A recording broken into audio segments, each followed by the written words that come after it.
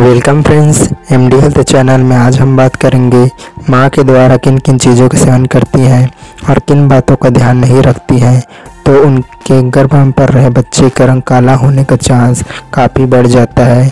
क्या आप भी चाहती हैं आपका बच्चा का रंग गोरा पैदा हो या सांवला पैदा हो? तो इन बातों को अपने प्रेगनेंसी डेली रूटीन में अवश्य लाएँ।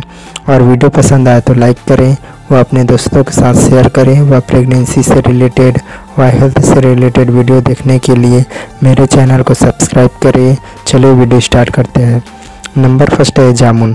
प्रेगनेंसी के दौरान जामुन नहीं खाना चाहिए, क्योंकि इससे बच्चे का रंग अधिक काला होने की संभावना होता है।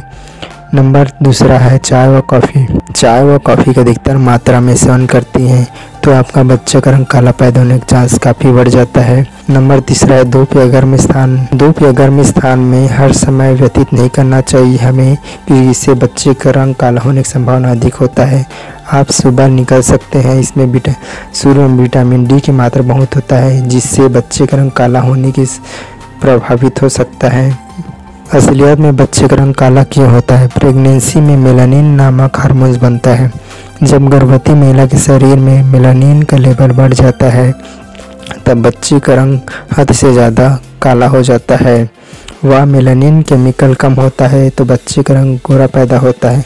वैसे तो माता पिता के जीन्स पर बच्चे का रंग निर्भर करता है। कमेंट करना बिल्कुल न भूलें। और ऐसी वीडियो देखने के लिए मेरे चैनल को सब्सक्राइब करें। धन्यवाद।